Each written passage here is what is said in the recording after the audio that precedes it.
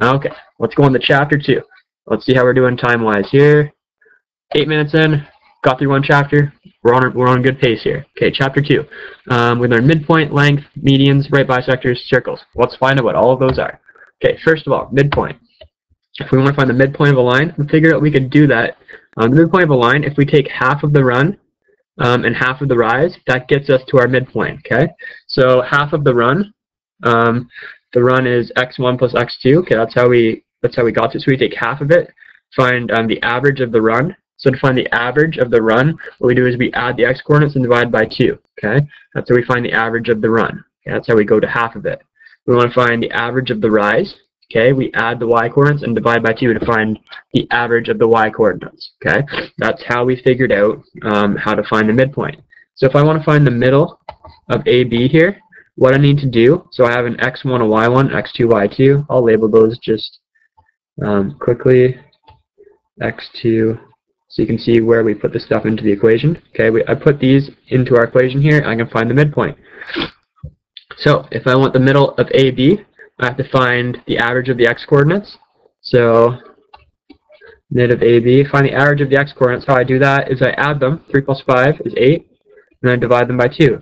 I also need to find the average of the y coordinates. Okay, so I need to find halfway uh, of the rise. So I add the y coordinates and divide by 2. So that gives me 9 plus 7 is 20 divide that by 2. So my midpoint, 8 divided by 2 is 4, 20 by 2 is 10. Midpoint is 410. Let's do this next one even quicker. So the mid of this point, and define the average of the x-coordinate and the y-coordinates, okay? Define me the middle. 5 plus 6 is 11, divide that by 2. 1 plus 0 is 1, divide that by 2. There's my, there's my midpoint. Um, that's in lowest terms. I can't simplify any further. I'm good. All right. We remember length as well to find the length of a line segment, we made it into a right angle triangle. Okay, I remember from Pythagorean's theorem that it, the square, if you add the squares of the legs, that's equal to the square of the hypotenuse. So a squared plus b squared equals c squared. Um, so um, here's the run. Okay, um, the difference in the change in x is the run, change in y is the rise. So my run squared plus my rise squared is equal to my hypotenuse squared. That means that the length of this line, okay, the hypotenuse here, is equal to the square root of the run squared plus the rise squared. Here's my length equation. That's how we got it. But can we use it? Let's find out. Here's my x1, here's my y1, here's my x2, here's my y2. Put them into the equation and see what we get. So the length of this line, AB here, so the length is equal to the square root, x2 minus x1, 4 minus negative 3 is 7 squared, plus y2 minus y1 squared, 5 minus 1 is 4 squared, so this is equal to 40, square root of 49 plus 16. Okay, and that gives me square root of 65, which is about 8.1, I believe. Oh, what happened here? Square root, oh, I'm losing valuable time. Square root 65 equals 8.1.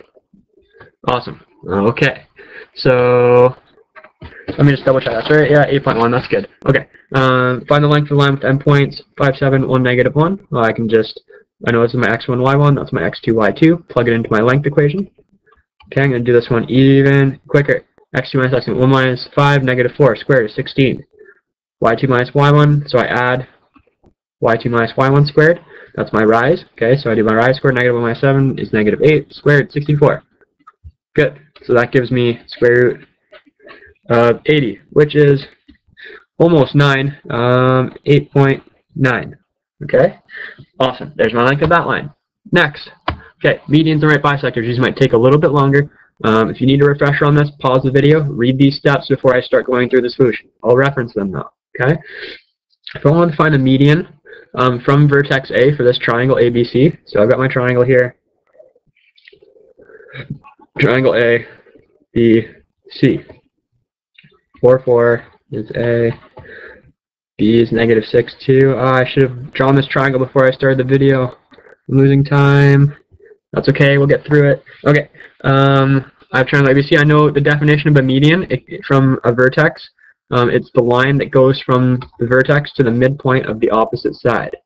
So I need the equation of this line right here. I need the equation of that line in y equals mx plus b form. Okay? So first thing I need to do, I need the equation of this line.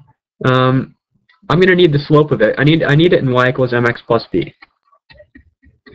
Okay, so I need the slope and the y-intercept. In order to figure out the slope, I need two points on that line. So I need to figure out the midpoint here. I, am going to call that D. I need to figure out the midpoint of BC um, in order to find the slope. So midpoint of BC, mid of BC, I know how to do that. It's just equal to um, the average of the x-coordinates and the average of the y-coordinates. Okay, so negative 6 plus 2 is negative 4, divided by 2 is negative 2. Average of the y-coordinates, 2 plus 0 divided by 2 is 1. There we go, I have the midpoint of BC. It's negative 2, 1. Okay, now I need the slope of AD. Slope of AD, slope of AD, I can find that. Slope is equal to y2 minus y1 over x2 minus x1. I remember that from grade 9. That's no problem. I like using that equation. Okay, so I can go ahead and um, find out the slope of AD. y2 minus y1, 4 minus 1 is 3. x2 minus x1, 4 minus negative 2 is 6. That simplified is 1 over 2. Okay, I now have the slope of this line. So I know um, I want to write y equals mx plus b. I know the slope is a half. I just don't know the y-intercept yet. I can solve that though. I know a point on the line. Um, this point right here is on that line. Okay. Um, so is point A. So I can use point A or D to plug in for x and y. I'm going to use this point here. Um, I know that's on my line. So y here's my x and my y. Plug in 1 for y. Plug in negative 2 for x and go ahead and simplify, solve for b. 1 equals negative 2 plus b. Uh, sorry, negative 2 over 2 plus b, which is negative 1 plus b. Um, move the negative 1 to the other side. I figure that b is equal to 2. And I can write my equation. I have my slope and y, y-intercept. y equals 1 over 2x plus 2. There's my equation. In my final equation, I don't plug in for x and y, just the slope and the y-intercept. Awesome, that's how I find the median of a triangle. Well, now let's find the right bisector of a line. I know the right bisector of a line is a line that is per, that bisects a line um, at a right angle. Okay, so if I have line a, AB, the right bisector of AB is the line that bisects AB, goes to the midpoint at a right angle. Okay, so in order to find the equation of that line right there, so I have this line here, a, B, wow, that's a nice straight line, awesome. A, B, that's 0.14, it's 0.3, negative 2. Okay, in order to find the equation of the right bisector, so I need to find the equation of the line that bisects that at a 90 degree angle. Okay, um, first thing I'm going to do, I want to figure out the slope of this perpendicular line. In order to do that, I need to figure out the slope of AB and then take the negative reciprocal of it. So slope of AB. I know that's y2 minus y1 over x2 minus x1, so negative 2 minus 4 is negative 6.